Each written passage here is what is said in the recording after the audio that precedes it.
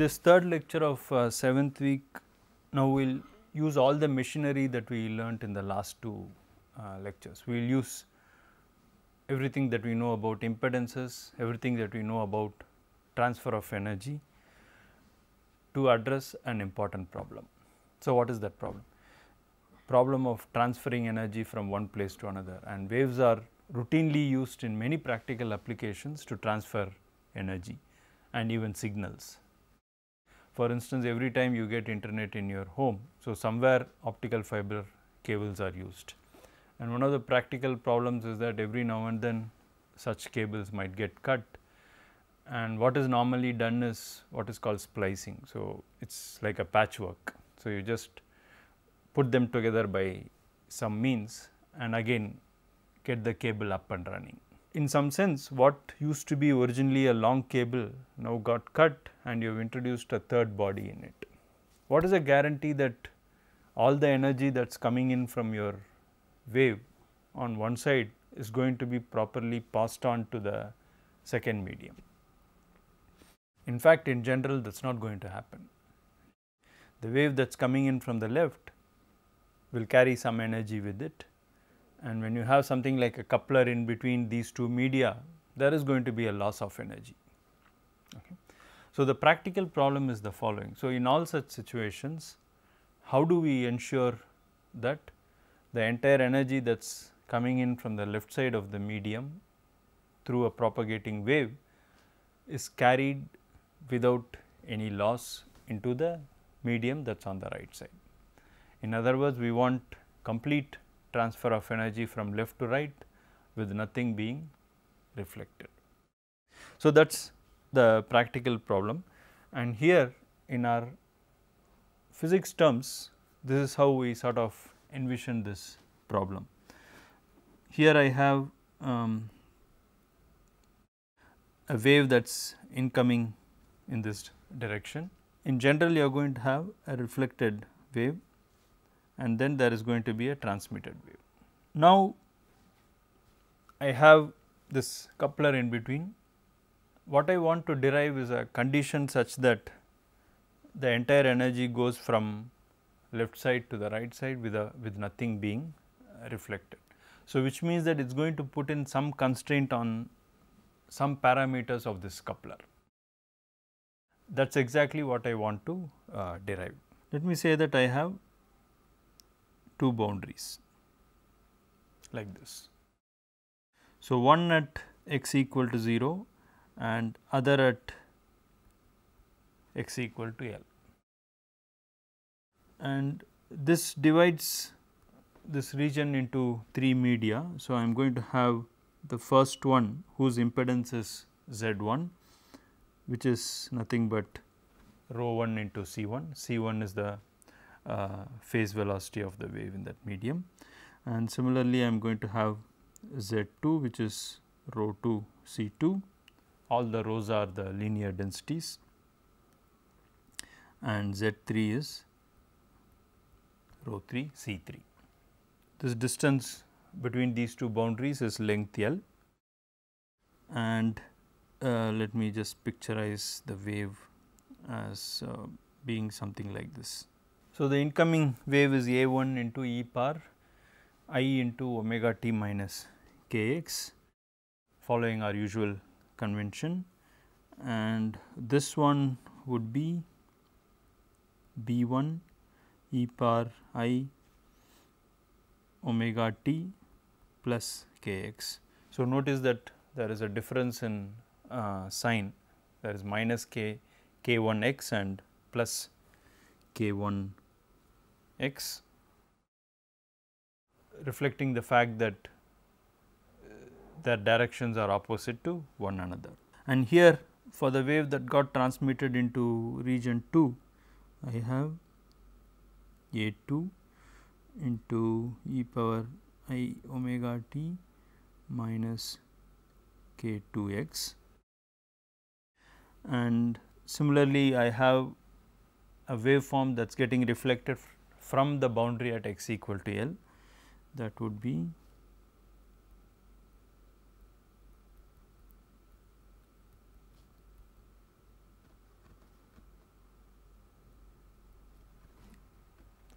and lastly I have a transmitted wave. And if you think carefully about it you will notice that I will have to write my transmitted wave in this form e power i omega t minus k 3 into x minus L.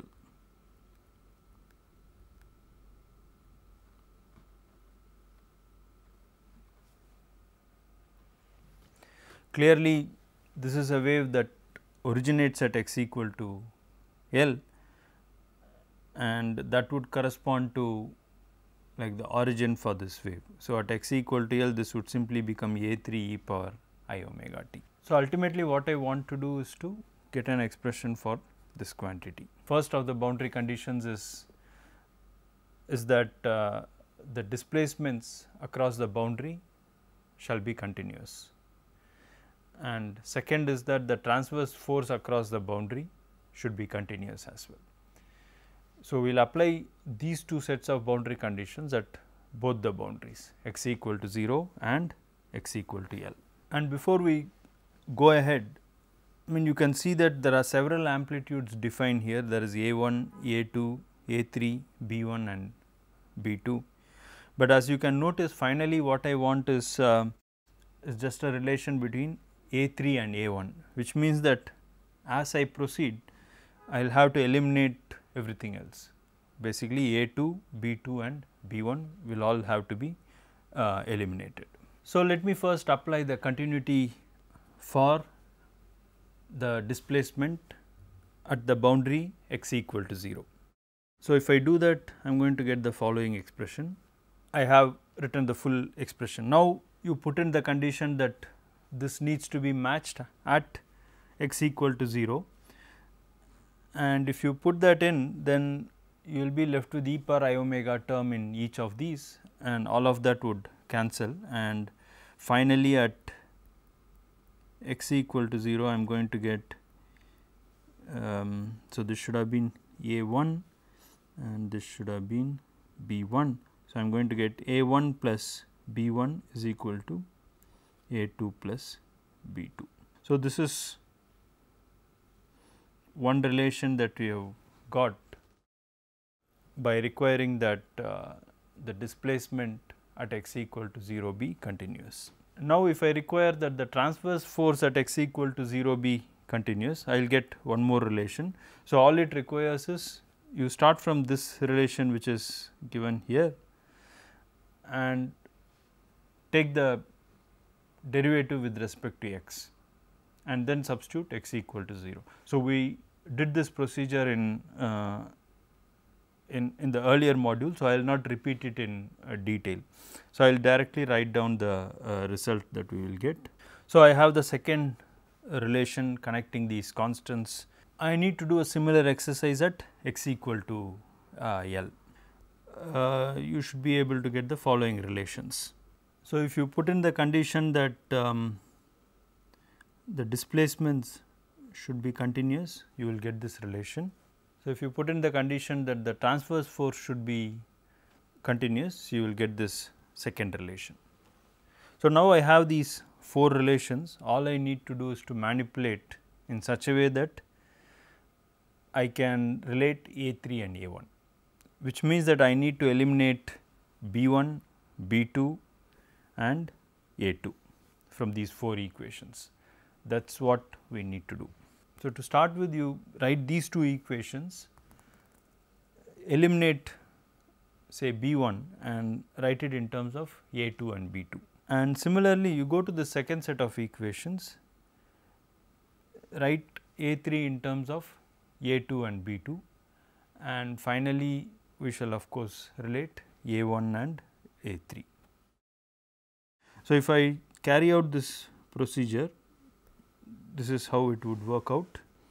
So, for instance, eliminating B 1 from these two set of equations will give me the following equation.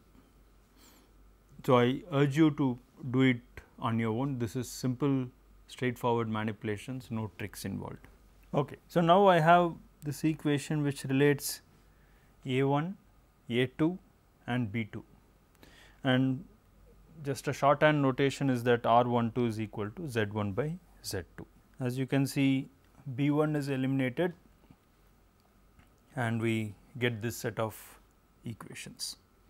So, this is the expression finally I get which relates A1 and A3 and here uh, R12 into R23 will be equal to R13 and simply substitute the values for R12 and R23 you should be able to get this as Z1 by Z3. The quantity that we need is A3 by A1 whole square. So, it directly uh, follows from here. Uh, so, I should be able to write A3 by A1 whole square and that would be simply equal to 2 R 1 3 of course, all this is whole square 2 R 1 3 divided by this quantity within this square bracket here and all that whole square. So, now I can go back to what I wanted to obtain from here and that is equal to Z 3 by Z 1 multiplied by A 3 square by A 1 square. And now, uh, we have this expression for A 3 square by A 1 square. Okay, so, we can substitute for a 3 by a 1 whole square from uh, what we have obtained here. But before uh, we do that I would like to invite your attention to what would come here in the denominator here which would just be this quantity. So, you have a cosine term and a sine term there. Now, if I make the following choices, if I take L to be lambda 2 by 4 cos k 2 L is 0 and sin k 2 L would be equal to 1. In that case what we have is Z 3 A 3 square divided by Z 1 A 1 square would be equal to 4 R 1 3 divided by R 1 2 plus R 2 3 whole square and this needs to be equal to 1. This is the condition that we have put that the transmitted energy should be equal to incident energy and this 1 reflects that condition. And this happens when R 1 2 equal to R 2 3. So, R 1 2 equal to R 2 3 if you go back and see what is R 1 2 and R 2 3 it is going to tell us that this condition needs to be satisfied. Z 1 by Z 2 should be equal to Z 2 by Z 3. Equivalently, Z 2 square is equal to Z 1 Z 3 or Z 2 should be equal to square root of Z 1 Z 3. Along with this the length of the coupling medium should be equal to lambda 2 by 4. So, these two conditions together would be called the impedance matching conditions. So, it tells me that the impedance of the middle medium or the central medium. So, you had three media there is one on the left, one on the right and between these two there was a middle one whose impedance was Z 2. So, if you choose Z 2 to be square root of Z 1 Z 3 and you choose the length of that medium to be lambda 2 by 4, in that case you can match the impedance. So, in practice this means that all the energy that is coming from the left would be completely transmitted without any loss. So, there would not be a reflected component in such a case. So, with this I will uh, stop this uh, module and we will uh, continue with some problems in the next two modules.